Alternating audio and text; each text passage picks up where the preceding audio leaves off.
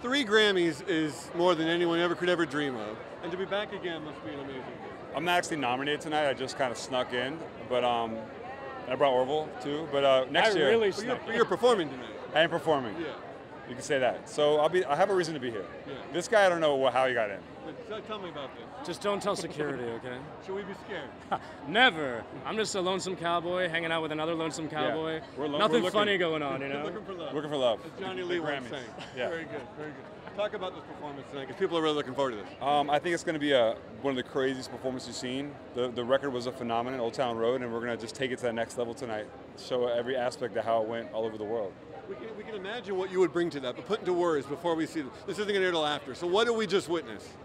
Uh, psychedelic uh, country banjo freak out.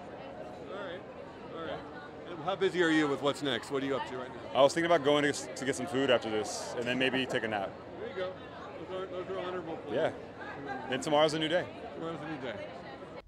Thank you for watching. If you want more extra, hit the subscribe button and the bell so you'll never miss a video.